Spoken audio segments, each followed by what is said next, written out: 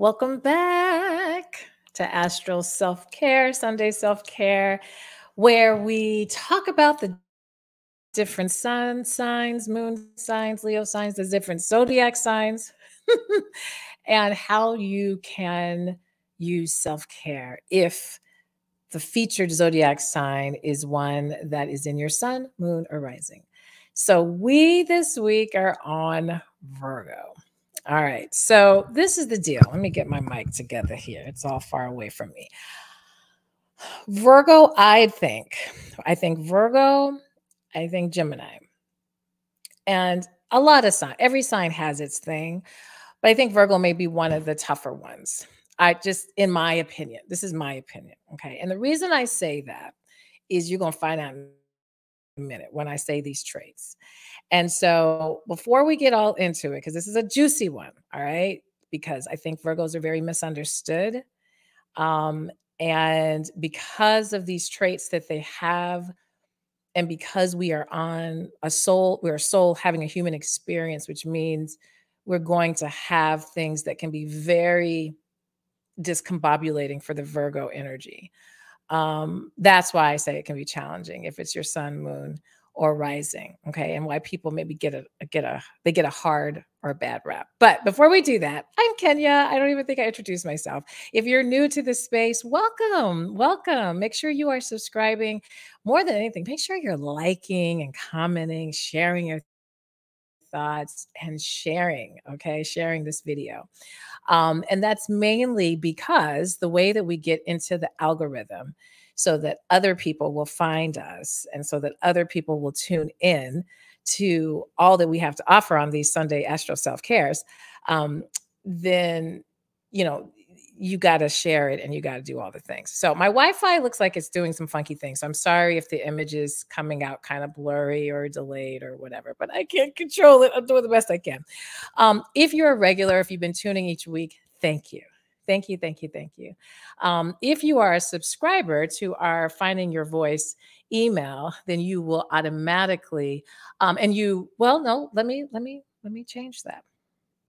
If you want this to land into your email box, what I do is all those who subscribe to Finding Your Voice, or if you're a Patreon member, um, you automatically get this video put into your email box each week. So you don't have to go search it.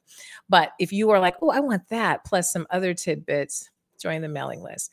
Um, you can also go to finding your vo- or info at findingyourvoiceafter40.com and just request, can I get on there? Can I get on there, please? For the, I want this delivered straight. Okay. So that's that. Um, so yes, if you are new though, please make sure you subscribe and like. All right, so let's get into Virgo. And I try very hard to keep these videos no more than 25 to 30 minutes. Okay. So again, I apologize if the Wi-Fi, if the video is doing glitchy things, because on my end, it's indicating that it may be doing that. So, but we're going to keep going anyway.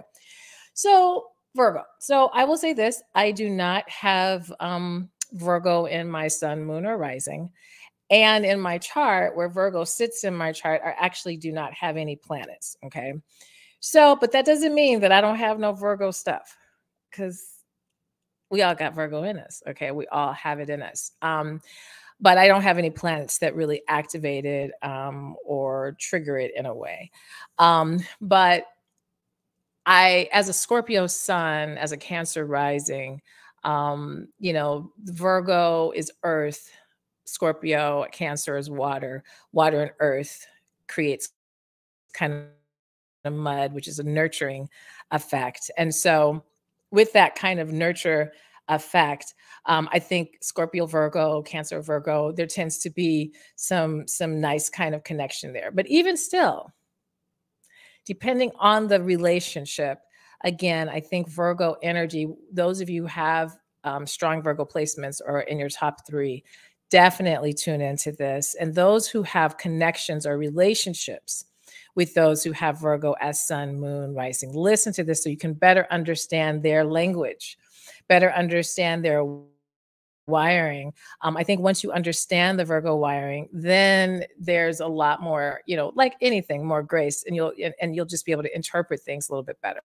So let's get into it. Let's let me put my notes because y'all know I put my notes. I don't try to be memorizing all this stuff. Okay.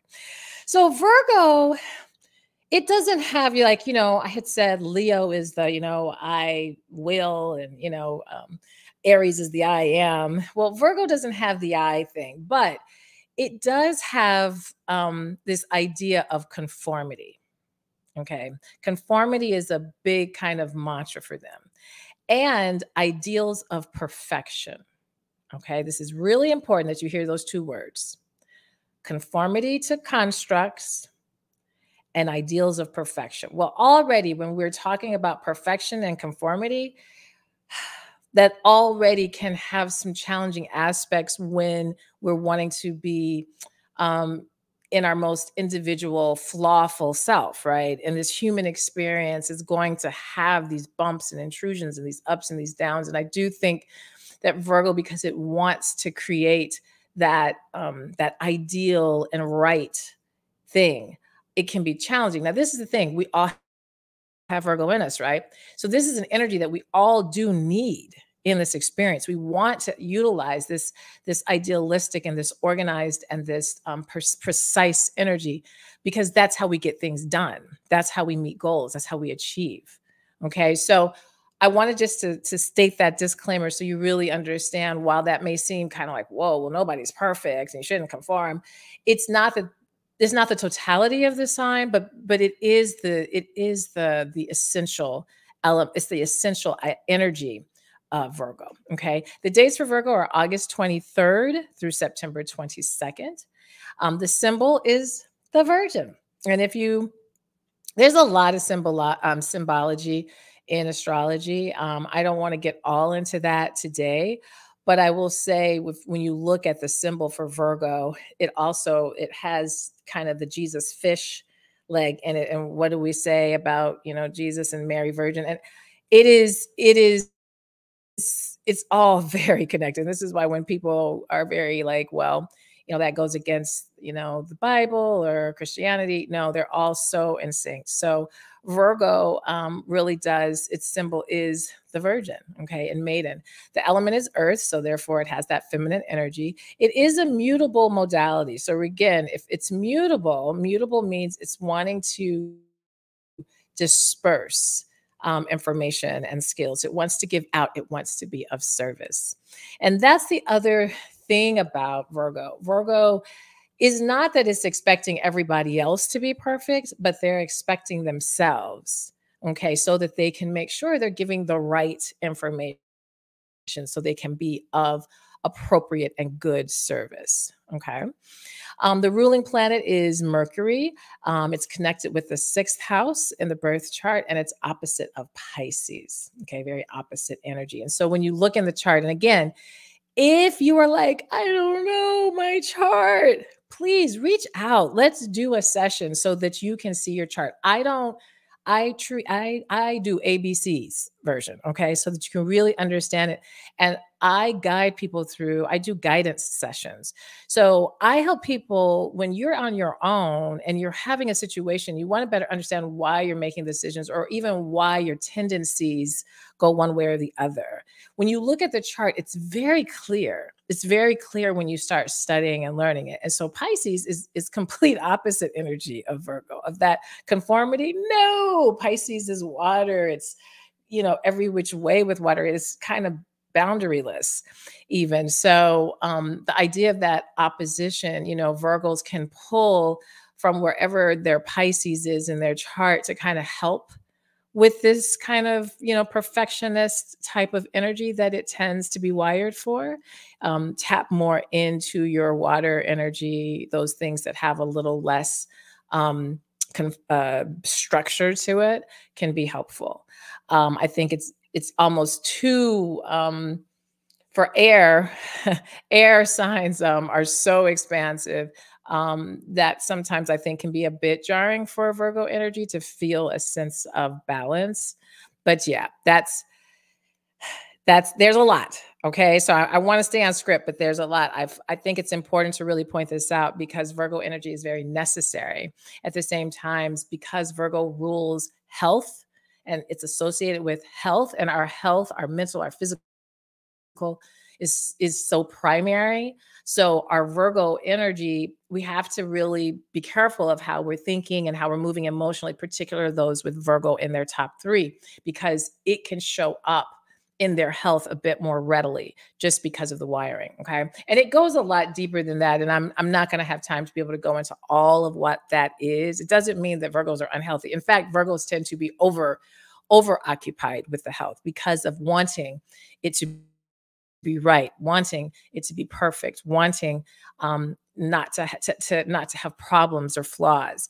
And our health um not to say that you know it's, it's bound to have problems because that's not true either but we do have to create rest and create space for letting go and um, so that the body can can can do a lot of its work on its own as opposed to think think think think think it through which virgo has a tendency and earth energy tends to be a little bit more in the thinking detached from the emotion and more into the thinking more into the mind as opposed to the heart space. And so virgo getting more in their heart space can alleviate some of that okay so let's talk about the high frequency, okay? So the things that are just awesome about Virgo and about our hour, because all of us have Virgo in us, our Virgo energy are these. This is what we aspire to have when it's balanced, when it's in good sync. Um, the high frequency.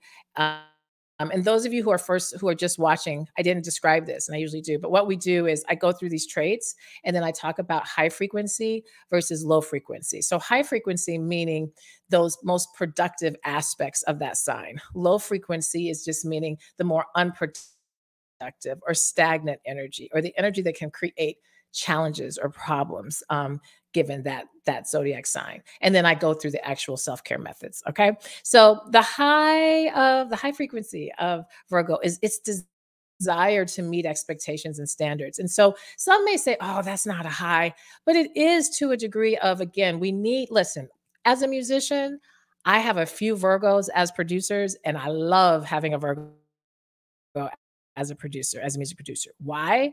Because their their standards, they're going to meet the expectations. They're going to work really, really hard to make sure that things are as correct and as on point as possible. And so for me, you know, that's benefits, right? That benefits working and and working with Virgos, period. Um, you know, the work environment is geared very much towards meeting expectations and standards. So they tend to do well in those spaces of work. Whether emotionally they feel that way, who knows? But the mental of it, yeah, they're there.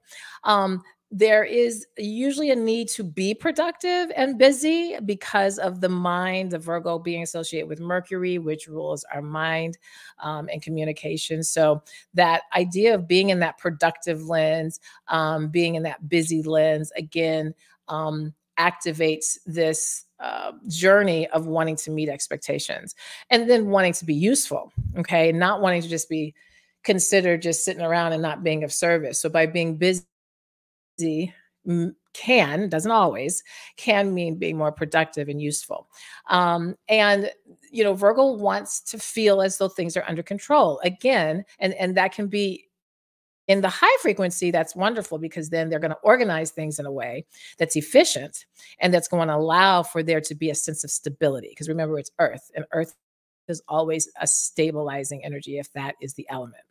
So um, that that whole ability to to get things under control can be really positive. The problem is you don't want it to get in the low frequency, which can be controlling, right? Because of trying to get things balanced, right?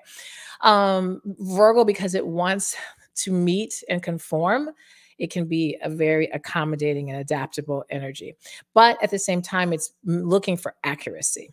Okay, it's an analytical energy. It's a careful energy, a cautious energy, very hardworking, um, helpful, um, and again, those those high standards. Okay, so these are the positive. There's even more than that. And again, contact me. Go to the description book a time so that we can sit down and look at your birth chart and talk about it more because I think that like I said Virgo energy is one that if not balanced it can go into some very more I don't want to say neurotic, but it can go into those types of tendencies because it will start to kind of it, it will want everything to be right. It's kind of like um, analysis paralysis by analysis. Okay, so now I'm kind of paralyzed. I can't really do because I'm so caught up in analyzing to making sure that it's meeting very high expectations. And you know that can be very frustrating when you know we live in a world that just doesn't always accommodate that energy, right?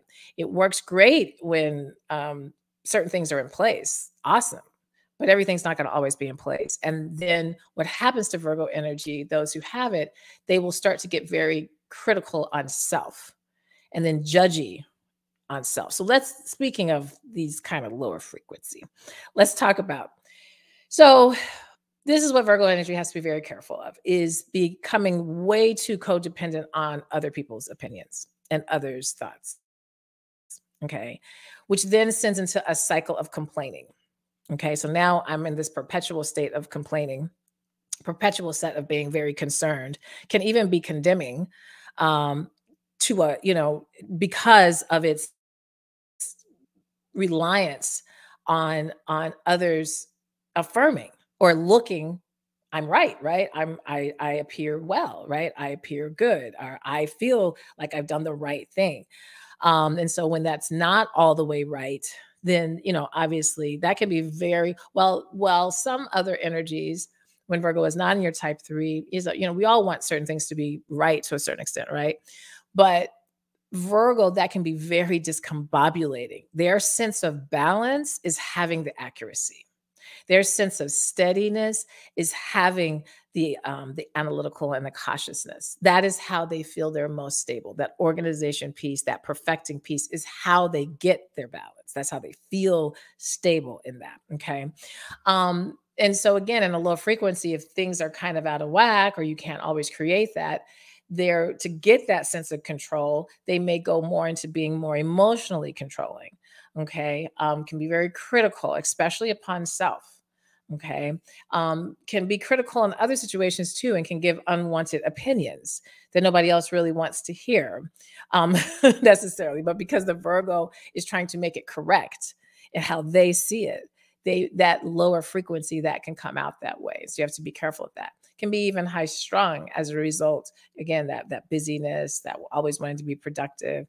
Um, and this is kind of the last thing I'll kind of say with the low frequency. Virgo has to be careful to not have these not only high expectations but impossible expectations impossible standards. So now we're working so hard so hard on things that are not even really possible okay? And i'm not saying that all i because I, I, I want to be careful because i don't want virgo energy to feel like you know there's a lot of criticism because then that goes back to the criticism right? The thing that other people's opinions it's not that. Again we all have it. We all have it in us. And so what Virgo is asking of us is to one, to be of service and to be of service in a way that is cautious, careful, compassionate, and caring. Okay. And that is useful. Okay. The thing, and so that makes Virgo a really beautiful energy because they they will achieve, they will get it done because they work hard to to be productive. Okay. The issue is when life does what life is going to naturally do, what is meant to do, when those contrasts come that are meant to come, how do you accommodate that? And that that's that's where now we'll go into the self-care so that you can level out that criticality so you can level out the not being overly opinionated or overly judgmental on self let's do more of the self-care so that we can kind of balance that energy out and so that we're using the Virgo for its highest purpose. Okay. And that's those high frequency things. So let's go into the self care for Virgo. So, what are some things we can do? So, remember, Virgo, because of their practicality and attention to detail and desire for order, it becomes really important for Virgo energy to focus on activities that kind of promote relaxation, but still give a hint of organization, like organizing for a Virgo energy, heaven. Okay. Decluttering the house, awesome. That's awesome self care. Excuse me. it's very productive, but it's also very relaxing for Virgo energy. So, organizing the space. I find that if you have Virgo in your top three, you should you how do I want to say this? this is a necessary part of your self-care. Um, you have to be careful to balance that um, and and do it in a way. But most Virgos can handle that, you know, very well. You don't want to get where you're just obsessive over it, right? But that just having like, you know, every Saturday or weekend to have the time to declutter and organize organize various living spaces or clo- closets or the way you do your laundry, all that. That's actually very self-care because there's a sense of calm that's happening while doing that because now we have the order. And again, if the Virgo energy has the order, it's going to feel that's that's a sense of care for the Virgo energy. Um, that goes along with to-do list and planning. That's very helpful for the Virgo energy um, to keep it in its stable. So things that are within its own control, so it doesn't have to impose manipulative or emotionally controlling factors onto other people. Um, to get to get in a space of not getting overboard and not becoming obsessive, it's important that there is um, time for mindfulness and mindful breathing and relaxation um, for the self care of Virgo. Um, healthy eating, absolutely, because again, Virgo rules. You know, astrology. There's medical astrology, and so every sign rules different bodies, parts of our body. Well, Virgo, it rules like health overall. Okay, so most Virgos there in who, who have Virgo in their top three, there's a, a, a strong conscientiousness around health. So healthy eating um, can be a really wonderful space for self care for Virgos. Um, paying attention to it, make preparing it, making sure it's balanced. Um, it just contributes to the overall well being. Um, being self reflective, setting time, setting setting aside time to be reflective, journaling. It can help you process the thoughts and get to the emotion because Virgo Virgo has to be careful to make sure that it's actually getting to the to the truth of the emotion and not the trigger of the emotion, not just the the outer the symptom per se, but get to what what is this really about? Like what what is the foundation of what's causing me maybe some breakdown in a certain area. Okay. Um, reading and learning, reading and learning, reading and learning, reading and learning is very, very productive and good for the self care of, of Virgo. Um, it allows you to stimulate the mind. Um, you're getting knowledge, you're expanding your skill set, and it's still to yourself and it's still calming, right? Um, yoga, gentle exercise. Again, that's going to be kind of for everybody. But again, this um, health factor that's such a big deal for Virgo that helps with that. And it helps to relax so that, again, you don't get too much into the hyper side of organization or the more obsessive side of it all. Um, nature walks, um, again, that earth, Virgo is an earth sign. So being out in the earth, um, recharging um, in the outdoors and its calming effects is really, really helpful for Virgo energy. Um, pampering self um, and setting boundaries and, you know, setting boundaries, all of these are for everybody, but I want to, I want to show you why it's particularly good for each whatever zodiac sign we're talking about. So for Virgo, by setting that boundaries, again, anything that's going to allow us not to get too controlling, too obsessed with organizing things, too perfectionisty anything that's going to create some like okay yes let's shoot for accuracy and be analytical and organized. That's what the virgo that's how the virgo thinks and it should be. That's what's going to allow them to feel their healthiest self which is then going to promote the best life right? But there has to be some boundaries so that it doesn't go too far on one end. Okay.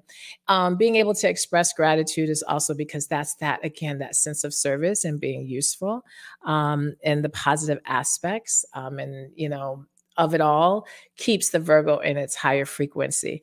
I think that Virgo energy, you know, people have to remember Virgos have the ability to have some really beautiful artistic um, artistic outcomes. So, artistic pursuits can be really therapeutic and it can also really put the mind to action in a different kind of way. Okay.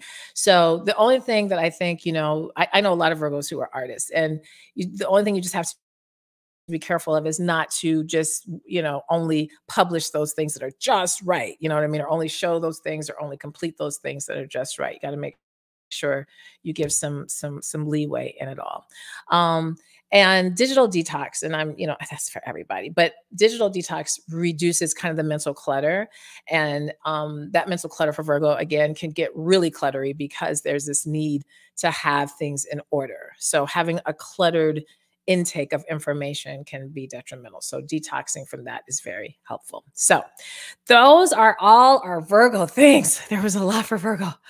There's a lot. And i honestly could go on and on because I I I I tend to um, gravitate. You know, my Virgo sits in communication and mindset, so I you know can be really detail oriented in my emails and how I make sure people understand, particularly those closest to me. Um, so you know, and and I've had so many connections with Virgo energy, those who close some of my closest relationships, some of my closest people in my life have had Virgo in their top three. And so I really admire Virgo and have and and love and are, are so passionate of about Virgo because it doesn't equal. I think sometimes people then think, well, if you're that perfectionisty, then you may, you know, it may be hard to be around you. It's like, no, I, I, you know, I think Virgos, you know, want to be of service. They want to be connected that way. And so it can be a really beautiful and pleasant energy. So, all right, before we take off here, let's do our question of the week.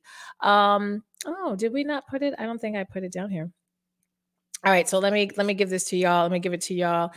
We I want to talk about a retrograde and I need to make sure my question is here.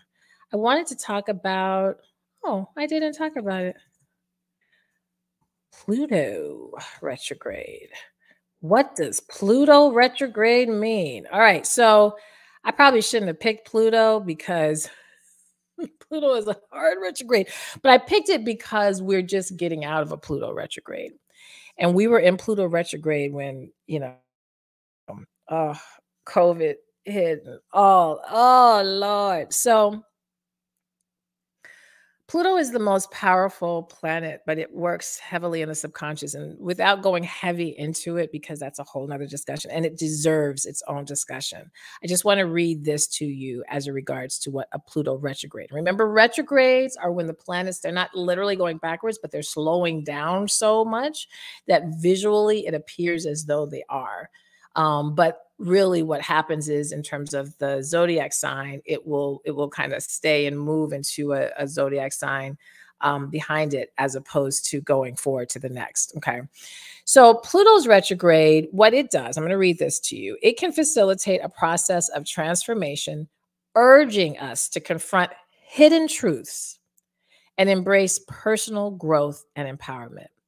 Now if there isn't a better way to describe what we've been going through um, the past several years, um, certain things coming out, certain truths coming out, all of us, I don't think anybody has gone through the past three years without significant changes, significant transformation, significant loss, significant gains.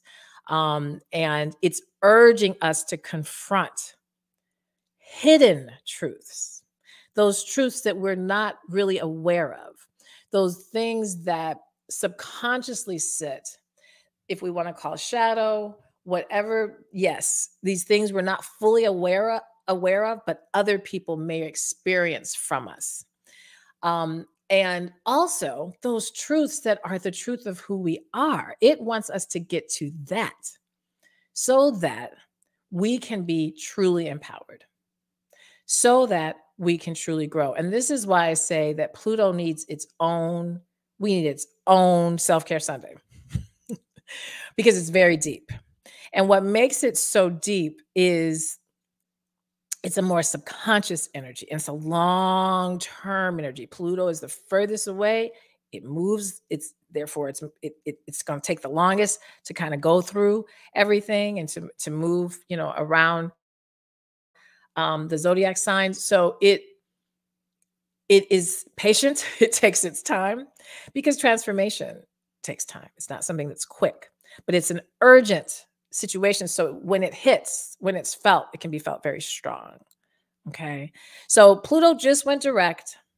Okay. So it's trying to move, but wherever Pluto goes, wherever Pluto goes, and right now it's on its way to Aquarius. It went direct. It was it was living in Capricorn. So Capricorn is structures, rules, government. Pluto's just been sitting, just been sitting there doing some very interesting things. And so now it's moving back forward and going to be hitting Aquarius, which is going to be even more significant. And it already has started. So, um, so Pluto is an important planet, and you know, um, we'll talk more about it, um, how we can take care of ourselves. Because again, this is astral self care. But if you want to see how Pluto and Pluto is generational, so you know, if you are of a certain age group, you're going to have the same Pluto. Um, I'm in a generation, um, few, well, Gen X, not all of Gen X is Libra, is Pluto and Libra, but a lot of us. And we're being asked to transform relationships. How about that? That's a whole nother conversation. I know I keep saying that, right? But if you want to learn about, okay, well, my Pluto's in Libra, so what does that mean? Or my Pluto's in Virgo, what does that mean? Pluto and Virgo ain't no joke. Okay. So definitely it, it means a lot and it can be really transformational. I mean, really, really transformational, but it can be also a very heavy energy. So, um, you know, reach out and we can do a session. I can show you a little bit more and how that may be impacting more personally for you and the things that you can do. So, so that's what we got. Next week, we will be in the room with Libra. Libra is going to lighten us up a bit. Libra is a very different energy than Virgo. Um, and Libra, I have a lot of Libra placements. So I'm very familiar with Libra. And Libra can is this pleasant energy, but it can so easily get into the people please. And so we're going to break that all down. This people pleasing of Libra energy. Oh, how do we help the Libra not do that? Well, there are ways we get into the self care of the Libra. Okay. So thank you all again. Make sure you subscribe, make sure you hit the bell. So whenever these videos come on, you got notification or get on our email list and just um, if you go to findingyourvoiceafter40.com you can get on or also just email me info at findingyourvoiceafter40.com because not everybody on my email list gets the astrology stuff only those who have expressed interest in astrology. So make sure you know if you know you want to get on that email list and specifically for the astral self-care i would say email info at findingyourvoiceafter40.com and we'll get you on there. Okay. All right. You guys have a minute. We went over our time, but Virgo had a lot. It was a lot. We'll be back next week. All right. You guys take care. Bye.